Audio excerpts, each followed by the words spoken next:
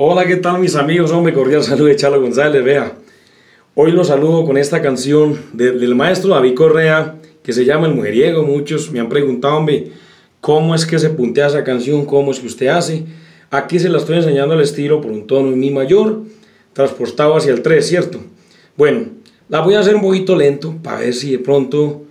No, es para que usted se la aprenda. Para hablar más claro, voy a hacerlo un poquito más lento para que usted se la aprenda. Yo sé que usted es un buen maestro. Es con mucho cariño esta enseñanza para los que deseen aprender puntear esta canción de David Correa, muy tradicional, muy sabrosa en la temporada de Sembrina. Aquí les va de nuevo.